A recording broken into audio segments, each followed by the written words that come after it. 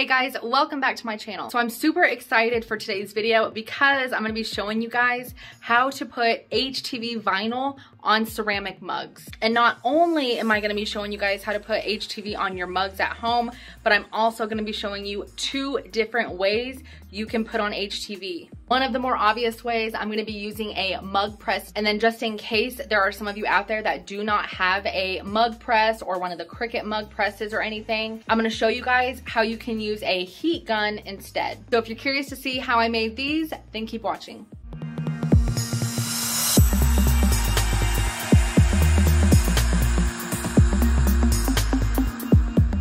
All right guys, so for this craft, you're gonna need quite a few things. You're obviously going to need some type of ceramic mug. I got this one at Dollar Tree, but you can obviously find these all over the place. You're also going to need some HTV, which is heat transfer vinyl. It's basically vinyl that is safe to be heated up and I'm going to be pressing on this HTV two different ways. I'm gonna do one with a heat gun and then I'm going to be using my mug press over there for my other one and we're gonna see which one comes out better. And I'm gonna be using Cricut Design Space over here on my MacBook along with my Cricut to cut out my design, but you could obviously use whatever software and machine you have. And then when working with the Cricut, you obviously need your cutting mat, a weeding tool, and some scissors. And you're also going to need some heat resistant tape. I have mine in this cool little dispenser here and I'm also using some butcher paper. All right, guys, I'm super excited to jump into this craft, so let's get started. Okay, guys, so I'm on my blank canvas here on my Cricut Design Space,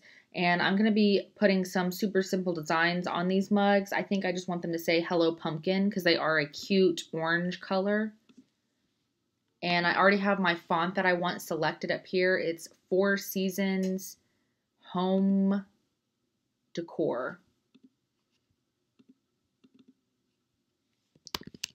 But I want this to say, hello pumpkin, like that, love it. I'm going to duplicate this because I do have two mugs.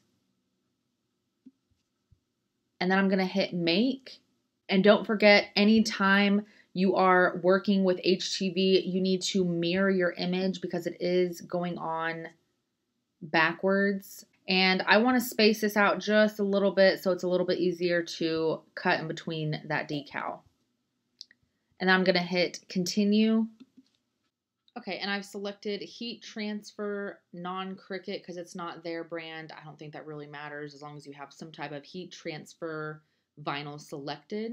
And we're going to keep our pressure at the default. Okay guys, so now I need to cut out my vinyl to go onto my Cricut mat so that we can cut it. Now you can use scissors for this, but I obviously like using my Fiskars little rotary tool because it's just easier for me to just roll and slice it than sit there and mess with my scissors trying to cut it. And I went ahead and added just a little bit of masking tape around the HTV just to help kind of secure it down to the mat so it's not trying to shift around while it's cutting it. And I just want to point out that whenever you're working with HTV, make sure you put your vinyl on your mat correctly. So whenever you are working with HTV, you'll notice that one side is super glossy compared to the other side. You want that super glossy, shiny side on the mat and the more matte side facing up because then when it's done being cut, you're going to weed out your design and then you're gonna flip it over and put it onto your mug or whatever you're working with. So I'm just going to load my mat into my Cricut. And now we are ready to cut. Okay guys, so my Cricut is done cutting out my design and I don't think you guys can really see that, maybe with the light, um, but it is cut in there. So now I'm just going to cut this in half. So now we can weed out our design. Okay guys, so once you have your design weeded out, this is what it should look like. So now, as you can see, when we flip it over and we set it on our mug, it's going to be the right direction. So as you can see, this was the shiny side. That was the more matte side. But basically, it's just going to go on your mug like this, and then we can press it. Okay, so this is where I'm going to want my design. So from here, I use my heat-resistant tape, and I will just tape it onto the mug to kind of hold it in place while it's being pressed. I will say when you're working with um, words like this, so like you'll notice when I bend it, it doesn't really go flat on the mug at the bottom.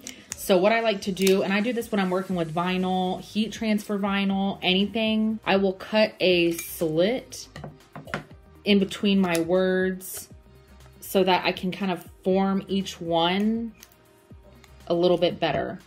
So I just press that down and I'm gonna tape that little section.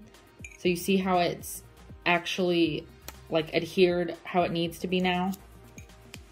So then I'm just gonna do the same thing with this side. So now we have our design all taped down to our mug. So now I'm ready to press this design with some butcher paper. So let's go over to my heat press. I'm gonna show you guys how I do that. All right, guys, so I had to whip out my old heat press to be able to use this mug press because it did come as an attachment on this heat press. I did get this off of Amazon a long time ago. But basically, whenever you're not using the actual press itself, you just plug in whatever your attachment is so in today's case, I'm using my mug press, but I also have a hat press and all that that can be attached. But you just take your mug and I just have my paper like this. And I have my heat press set to 330 degrees. And I'm just going to slide it in here. Now be careful because this is hot, obviously. And I'm just going to pull this handle shut so that it goes tightly around my mug. And as you guys can see here, it is tight around there and I'm gonna be pressing it for 30 seconds. Okay guys, so it has been 30 seconds. So I'm just going to unclamp this and be careful because your mug will be hot. Now I'm just gonna let this set here and cool for about 20 seconds or so and then we will peel off our design. Now we are ready to peel up our tape, the backing. All right, guys, so we've peeled up our backing, and as you can see here, the vinyl is all the way adhered on. It's not scraping off. Um, I will recommend do not put these in the dishwasher. You can wash these by hand, that's fine. I wouldn't recommend soaking them or using any abrasive materials to scrub them, but just hand washing should be okay. But this is on here. It's not coming off. I think this is definitely more durable than just like using the regular vinyl on like cold cups and stuff. And now we're ready to add on our second design onto our second mug over here using our other method which in this method, we're gonna be using the heat gun. Okay, so same way as before, I'm just going to put the design where I like it, and then I'm gonna be using my heat resistant tape to tape down my design.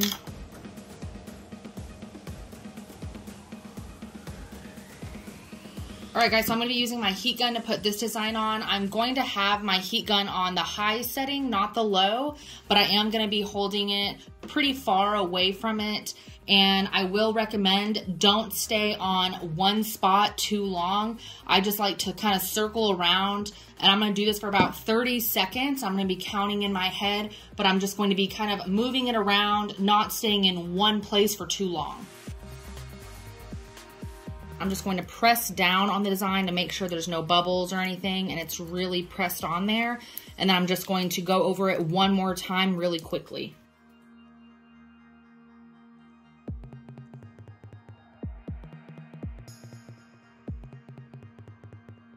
All right, guys, so we peeled off the backing on this one. And as you can see, it looks the exact same as the heat press.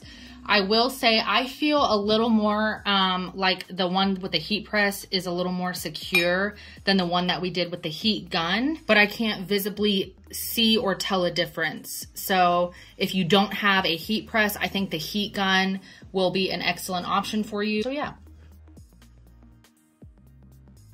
All right, guys, as always, I hope you enjoyed this video. If you did like it, please let me know that you liked it by giving me a big thumbs up. If you have any other questions or comments, feel free to drop a comment down below. And if you're not already subscribed to my channel, please consider clicking that subscribe button so you don't miss out on any other crafting tutorials. Thanks for watching. I'll catch you guys in the next one.